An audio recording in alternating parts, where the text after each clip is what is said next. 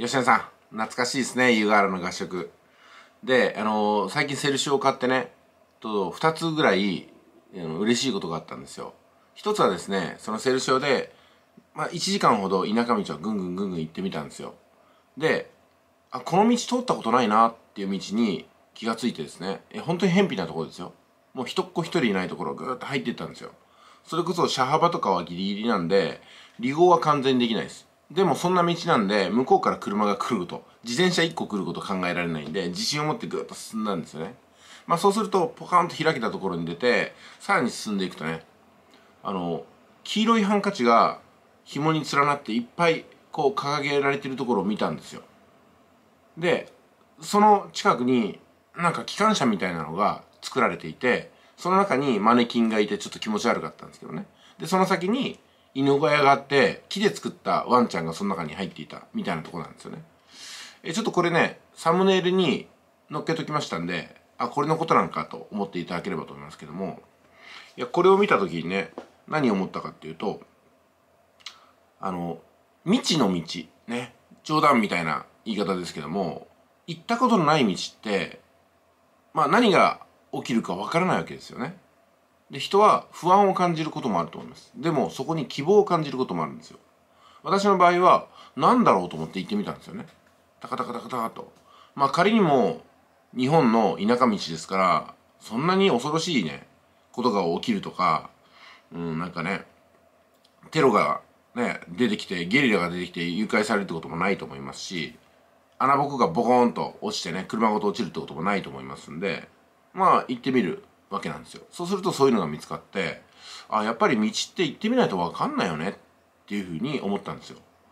それまで何回も何回もその近くは通ったんですけども、あ、これはすごい発見だったなと思って写真撮って動画撮っちゃったんですよね。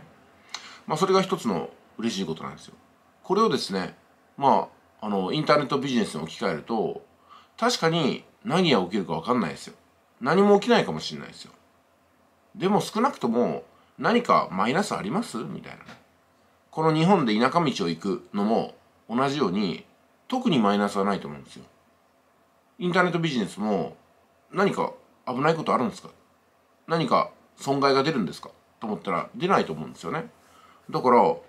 未知の道っていうのは進むに限るわけなんですよね。うん、まああのね危なっかしいなんか南米の奥地とかの国はそんなね知らない道行ったら生きて帰ってこれるかどうか分かんないですよ。襲撃されたとかねあるかもしれないですけども少なくとも日本の田舎道でそんなこと起きないですし同じようにインターネットビジネスね例えば YouTube をたくさんやったからひどい目に遭いましたってことはないと思うんですよね、うん、だからやらないことがリスクですよね。だってやれば何かが生まれるのにやらなければ何も生まれない時間だけが失われていく人生になっちゃうわけですよ。で嬉しいことはもう一つなんですけども、うん、やっぱりね情報発信のいいところは自分の思っても見ないような垣根が取り払われるってことでしょうね。これはね、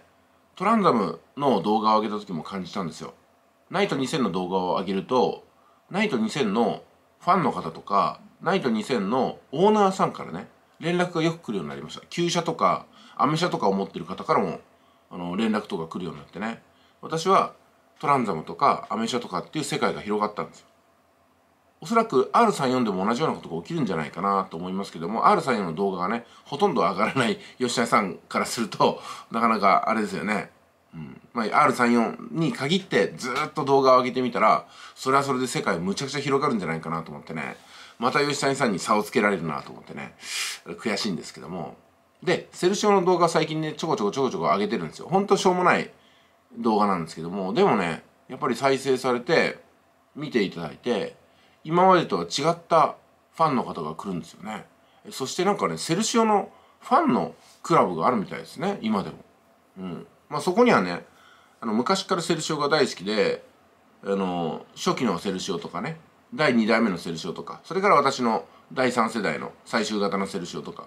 のファンの方が集まって交流してるらしいんですよ。でなんとね一番最初の初期型のセルシオが一番高くなってるらしいですね。不思議なもんですね。どっちかっつうとね、あのー、30のセルシオが人気出そうなんですけども、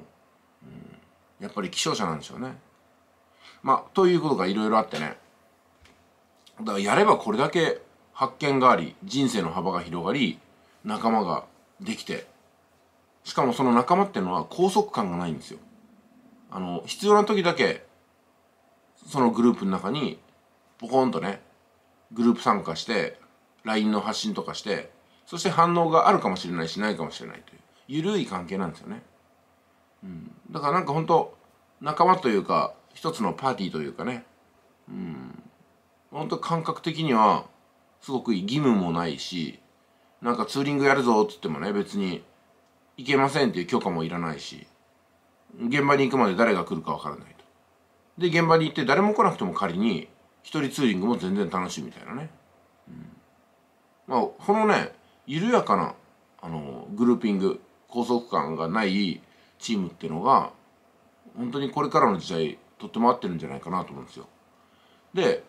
振り返ってみると億万長者合宿吉田さんとはねやってますけどもここにも何のルールも拘束感も契約もないんですよ。でもお金だけ生まれるんですよ。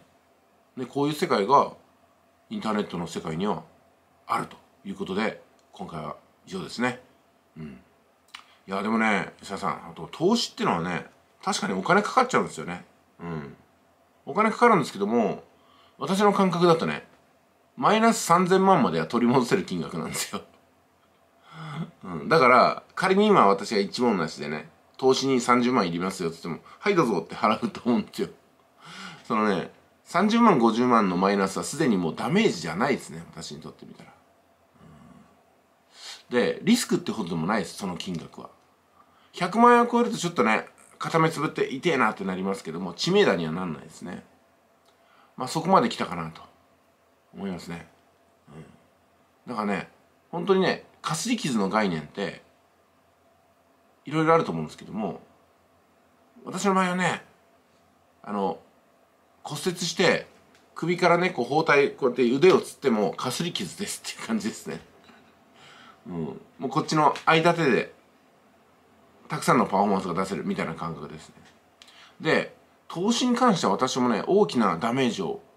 負うことが考えられないですね今ね。そもそも投資金額がすごく極小なのに高い投資利回りを狙うようなリスクリワードになってますからもうねマイナスを食らってもどうってことないかなとプラスになったらすごく美味しいなと損傷利大をやってるかなってことですねで今回ねビットコイン大暴落してるんですよ。すごい暴落しました100万円ぐらい値段が下がったんですよ。でもその100万円の値下がりすらあここで大きく利確が起きてそして損切りに巻き込まれて暴落するよと。これ高値掴みだよっていうふうなねやっぱこう予感がしましてね。いろんな情報から。そして判断してこれ暴落時だと思ったんで動画上げたら本当に暴落しましてね。なんかここまで当たるようになったかと。自信を持ってね放送できるというところで FX も同じなんですけども FX もここで転換するよって言ったら昨日転換しましていやーここまで来たかと思いましたね。かなり投資も得意になってきました、でもなんかねなんでね投資までできるようになったのかはっきりとよくわかんないんですよね。基礎を徹底的に抑えたぐらいは抑えたんですけどもなんか勘が働くんですよね。うん。値動きとかチャートとかある情報を見た時にねこう考えたらいいんじゃないかなっていう感じでパパッとひらめくんですよ。でそれを放送してみるとあすごい予言みたいだみたいな、ことになってね。うん、すごいですね。ひらめかない時は理論とか理屈でこう話していくんですけどね。ひらめいた時っていうのはあれ根拠がうまく説明できないけどおそらくこうなるぞ。しかもえ本当にそうなるの？みたいなことを私は言うんですよ。そしたら結果的にそうなるんですよね、うん、ビットコインなんてね誰もが疑わないようなね上昇曲線を迎えてたんですけどもあの落ちた後はいろいろ言うんですよ。なんかねあのこんな事件があった。エルサルバドルがどうだ？法定通貨がどうだとかここで大きなクジラが動いた。ら言うんですよ。落ちたとでも落ちる前にここ高値掴みだから危ないと。値値下がりするぞ。みたいなこと言ってね本当にそうなるっていうのはなかなかないと思うんでね私もね。あ自分ながらこういう人っているんだなと思いましたね。じゃあいってらっしゃい。